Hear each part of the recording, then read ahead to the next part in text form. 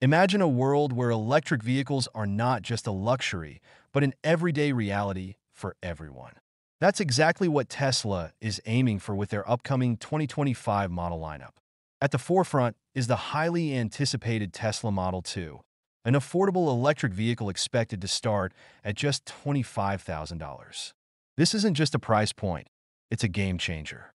With the Model 2, Tesla is making electric mobility accessible to a broader audience, paving the way for a future where clean energy is the norm rather than the exception. But that's not all.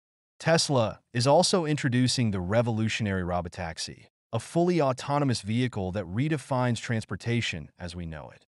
Imagine hailing a ride without a driver, where the car navigates itself through city streets and highways, optimizing routes and ensuring safety. This isn't science fiction. It's the future Tesla is working tirelessly to bring to life. The Robotaxi represents a significant leap towards a sustainable and efficient transportation system, reducing the need for personal car ownership and minimizing traffic congestion. Now let's talk about production.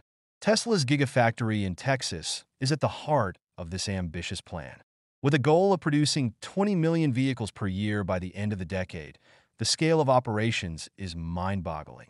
This factory isn't just about building cars. It's about revolutionizing manufacturing processes, integrating cutting-edge technology, and maximizing efficiency. Tesla is committed to sustainability, and this factory is designed to minimize waste and energy consumption, aligning with their vision for a greener planet. The excitement surrounding these upcoming models is palpable.